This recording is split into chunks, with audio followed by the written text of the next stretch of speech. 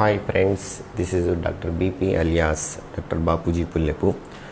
Now, few problems, few examples we completed on translation. Now we're going to see on rotation and magnification. Just uh, read the problem. Just you can have.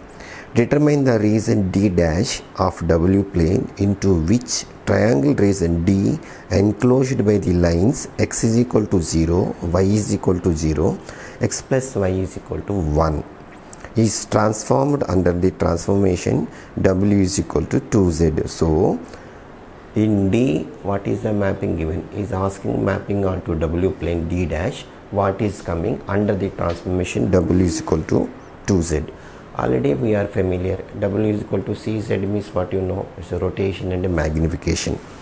Okay in xy plane what is given? X is equal to 0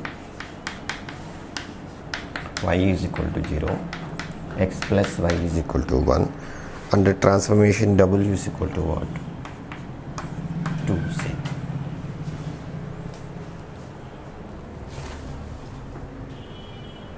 now everything available in my hand slowly what i will do? I will write w is equal to u plus iv this 2 is constant there is no complex number. 2 z is equal to x plus iy I will write.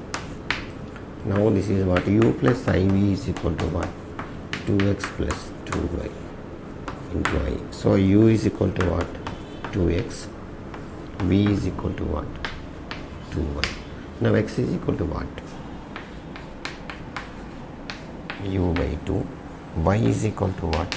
V by 2 y means what? In my hand available x plus y. So this you can write in z plane x plus y is equal to 0 this is x axis this is y axis maybe this you can write y is equal to 0 this fellow is what? X is equal to 0 okay. In z plane x play x plus y is equal to y maps onto what? This is this triangle maps onto what? Now what you will get? Okay x is equal to 0 means u is equal to 0 y is equal to 0 e is equal to 0 you will get. So u v. Maybe you will get big triangle. So this become what actually? Go back and substitute this is what? X is equal to u by 2 y is equal to v by 2 so u by 2 plus v by 2 is equal to 1 this is what? U plus v is equal to 2 now we will tell?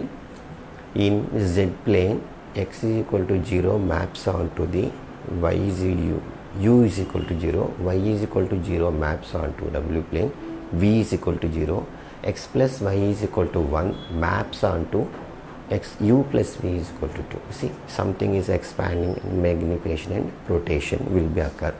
This is the example for the magnification and rotation.